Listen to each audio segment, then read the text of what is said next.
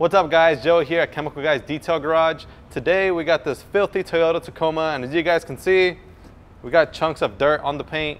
This is gonna require a little bit more of a different wash method than just our traditional wash. Uh, we're gonna definitely go ahead and be foaming this vehicle just because this dirt is very thick and is dried onto the paint.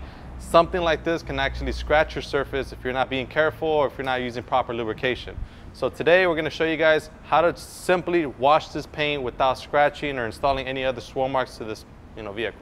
The only difference is gonna be, we're gonna be starting with the body of the vehicle first. We're not gonna be starting with the wheels just because, you know, usually that's what we tell you to start off with. In this case, since the body is a lot dirtier, we're actually gonna address these at a later time and the undercarriage because we wanna tackle this first and just clean the vehicle so that we don't scratch the paint. We're gonna be following a two foam process, which means that we're gonna do one coat of foam, let it lather, and then we're gonna rinse it off. And then we're gonna do another coat of foam and follow it up with the wash mitt and a two bucket method so we don't scratch up the paint.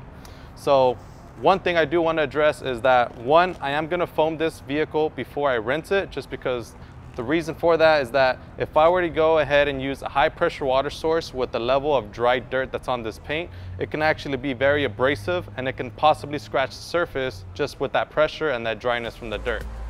All right guys, so let's get foaming.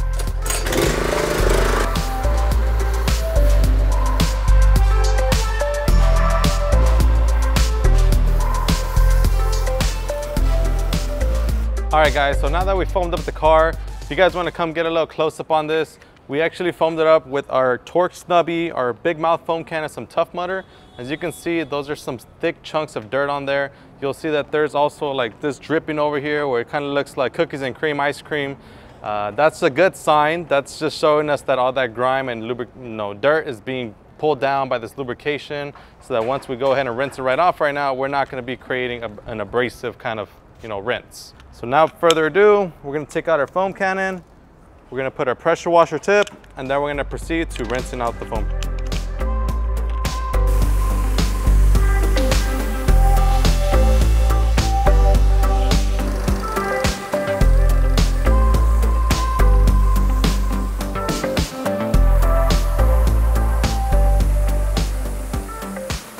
All right guys, so as you guys saw, that Tough Mudder did a really great job at breaking down that heavy grime, but now we wanna take care of the fine grime that's still stuck in between the trims of the vehicle.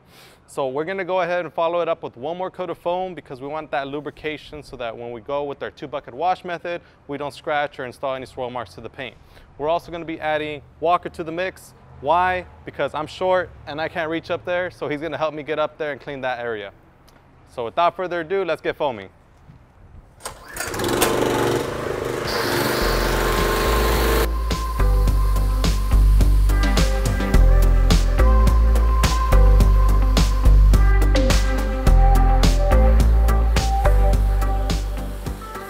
Now we're gonna be wiping down the paint. We're gonna be doing the two bucket wash method, which pretty much means we have one bucket full of soap and water, and then the other one just with water. So when we wanna rinse our mitt, we don't get that grime that we're knocking off the paint back onto the paint and you know scratching the paint up.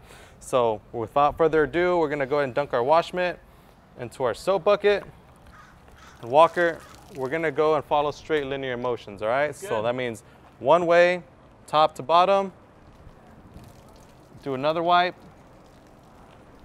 and since this vehicle is kind of dirty, I do want to do a little more rinsing just so that I don't scratch up the paint and I want to make the best use out of these dirt traps.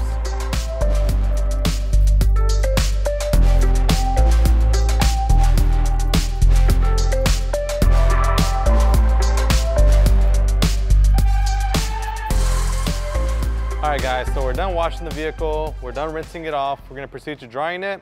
If you guys like this truck and you guys wanna see more of this truck, make sure to like this video, comment down below what you wanna see, and let us know any other future videos that you guys wanna see on this channel. This has been Joey, Walker, Chemo Guy, Detail Garage. See you guys next time.